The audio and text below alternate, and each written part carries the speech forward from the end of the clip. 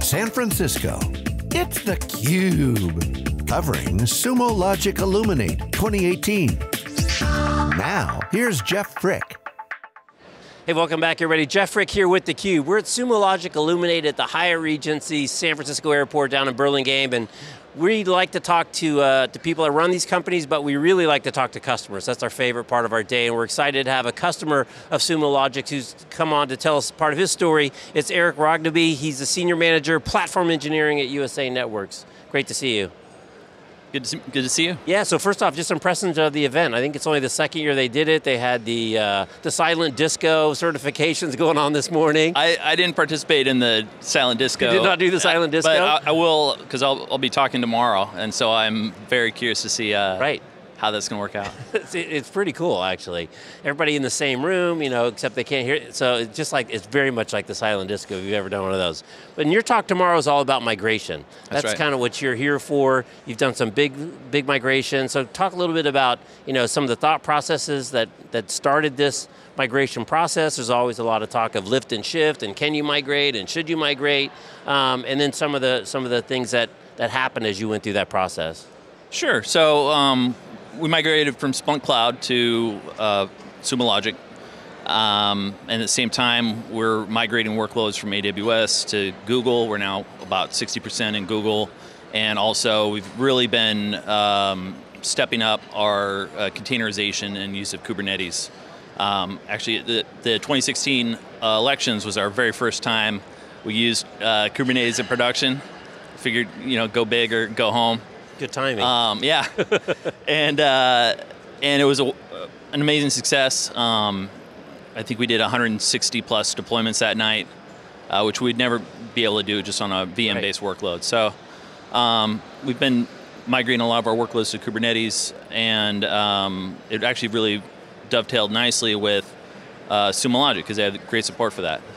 So migrating is never easy. So what were some of the motivations that, that were causing you guys to look at and ultimately making some of these migrations? Uh, just, you know, the typical technology one, speed of market, um, you know, being able to serve our internal customers quickly. Uh, you know, the platform we were on uh, was a lot of, you know, opening tickets and asking for maintenance windows for, you know, plugins or change and things like that. And uh, we really needed something that was SaaS from the beginning and be able to, um, you know, integrate rapidly. Right. Yeah. So how difficult was the process? How long did it take? Big team, small team? Uh, so my team is about eight folks, um, but uh, I one of the things I'll talk about in my talk tomorrow is um, find your key stakeholder, and for us that was security and engineering, and they um, we involved them early in the vetting process uh, for Sumo Logic, um, really had them step up their requirements and and help drive the process. And they also helped wrangle a lot of the the rest of the enterprise, you know, which we may not have had uh, input or say over, um, but security, you know, has their, their hands in a lot of, right, a lot right. of places. So um, that was a key a key win for us. Uh, as far as how long it took us, um, we're an agile team, do two week sprints. Uh, I think we probably got it done. You know, we got it done within a quarter. Um, which felt pretty good, and it was, you know, it was uh, when we actually ended up cutting over. It was a non-event. Really? Yeah. Were you all keyed up for the event, and then the event? Yeah, it's like happen? okay, where you know where's the fire, and it's like, uh, no big whoop. Right, know? right. So we're here at Sumo Logic Illuminate. So what were some of the, the specific attributes of Sumo Logic that that helped you with this process? Yeah. So um, so we're a chef shop and for you know our VM-based workloads and configuration management, and then we're also um, you know big into Kubernetes. And they have a couple key integrations there. Um, they have a great chef cookbook for deploying their collector and configuring sources and everything, and, and we leverage that heavily, and then customize it for you know it's open source, so you, you take it and then you make it your own. Right, right. Um, and so we customize it for our own needs, um, and then uh, that was for the kind of the VM workloads, and then the um, Kubernetes, uh, there's a FluentD SumoLogic collector. It has excellent integration uh, with Kubernetes, and um, we did some customization there to so it would match our taxonomy of our source categories and everything, um, just to make things easier to search and index. Um, but it's it's really about delivering for our internal customers and making it seamless and easy. Like Right. they don't have to think about it. Like their containers log, and this thing just picks them up and ships them, and they know where to find them.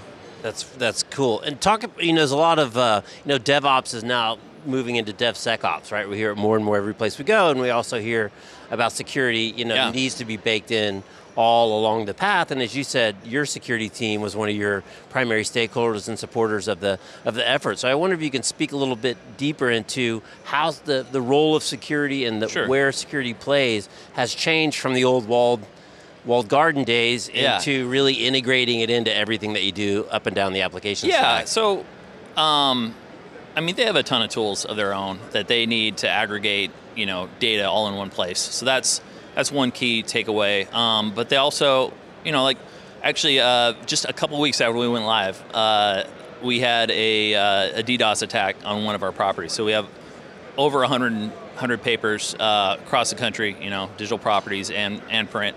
Um, and, uh, you know, we have uh, some mitigation at our CDN Fastly, but really investigating the source and getting it locked down and everything, uh, Sumo Logic played a key role like in that kind of rapid response. Right. Um, you know, and other things like like GitHub, like seeing like they've got alerts that go off if somebody adds somebody to the org and you know they don't have two-factor authentication on or, or you know like and that's all coming through through Sumo. So they're really leveraging it like proactively, um, you know, to to enforce policy and uh, you know, and also you know for investigation and Right. things like that. So you have more uh, migrations on the horizon since it was so easy this last time. You had the non-event on the cutover day.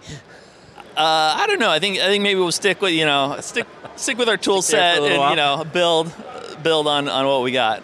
All right, Um, Erik. Well, I don't know. You got to do it again. I mean, if you're so successful, you got to do it a few more times. We'll we'll see. There you know you never know what who, who might get swapped out next year. All right, Erik. Well, right. thanks for uh, for taking a few minutes Yeah. and sharing your story, and good luck on your uh, on your presentation tomorrow. Appreciate it. All right. He's Erik. I'm Jeff. You're watching theCUBE. We're at Sumo Logic Illuminate. Thanks for watching.